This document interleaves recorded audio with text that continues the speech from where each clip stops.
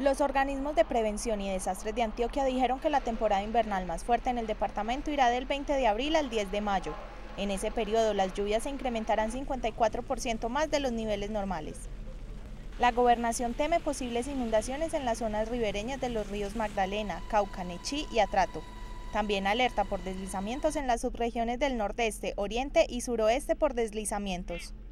Estas zonas van a ser las de mayor incremento, en las lluvias por tener más altos grados de condensación. Recordemos que toda esta zona es área de embalses, generan de alguna manera bastante condensación, por lo cual nos debe incrementar aún más las lluvias.